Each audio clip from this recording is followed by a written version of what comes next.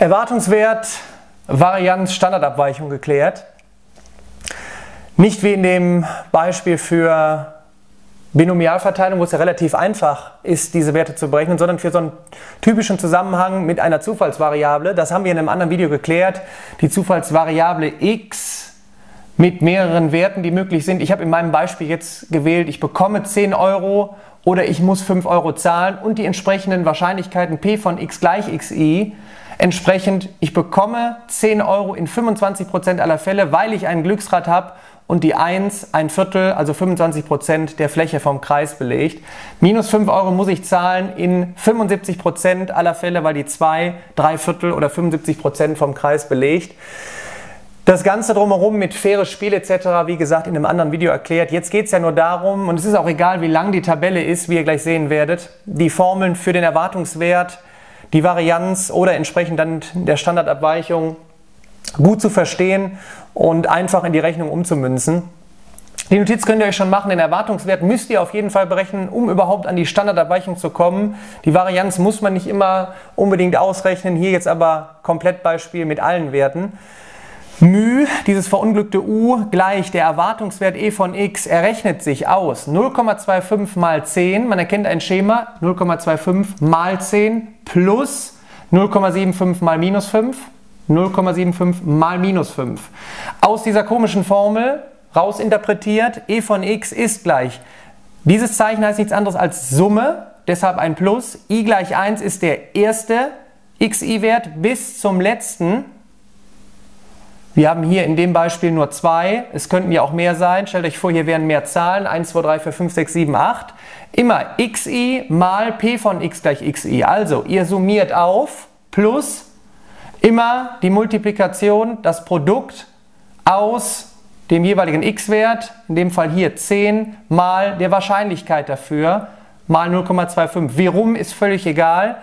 In dem Beispiel jetzt, wie gesagt, 0,25 mal 10 plus, weil wir aufsummieren müssen, dann 0,75 mal minus 5 oder andersrum entsprechend multipliziert. Stellt euch die Tabelle länger vor, ist immer das gleiche Prinzip. Es käme plus weiter und dann das mal das, plus das mal das. Oder wenn ihr die Tabelle runtergeschrieben habt, nach links weg multipliziert. Relativ einfach. Ihr bekommt den Erwartungswert raus, ist in diesem Falle minus 1,25.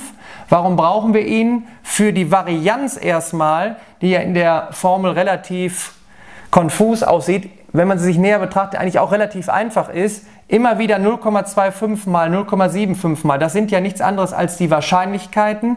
Multipliziert, schaut euch die Struktur jeweils an, irgendwie immer hoch 2 irgendwie taucht immer der Erwartungswert auf, irgendwie immer ein Minus und vorne entsprechend der x-Wert.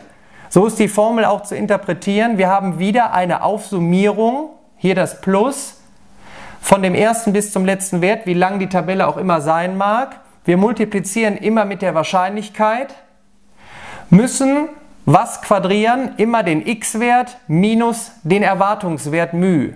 Also nochmal die Notiz, ihr braucht den Erwartungswert weil ihr ihn in die Formel für die Varianz einsetzen müsst und entsprechend relativ einfach Wahrscheinlichkeit multipliziert nicht jetzt wie beim Erwartungswert nur mit dem x-Wert, sondern xi-Wert minus dem Erwartungswert komplett in Klammern hoch 2. Gibt es in Taschenrechner ein, es kann eigentlich nichts passieren. Hier würde 42,1875 rauskommen. Die Standardabweichung ist dann relativ einfach ausgerechnet. Standardabweichung Manche schreiben eine verunglückte 6, manche halten es für ein O. Schaut mal nach, zeichnet es ein bisschen ab. Ist auf jeden Fall gleich die Wurzel aus der errechneten Varianz, in dem Fall ungefähr 6,5. Formel habe ich erklärt. Sigma heißt das ganze Teil. Sigma, die Standardabweichung ist gleich die Wurzel aus der Varianz. Ihr hättet auch direkt Sigma schreiben können und dann hier eine Komplettwurzel drüber machen können. Entscheidet selber. Im Endeffekt relativ leicht. Erst den Erwartungswert. Mit dem Erwartungswert kann ich Varianz ausrechnen. Die Wurzel aus der Varianz ergibt immer die Standardabweichung.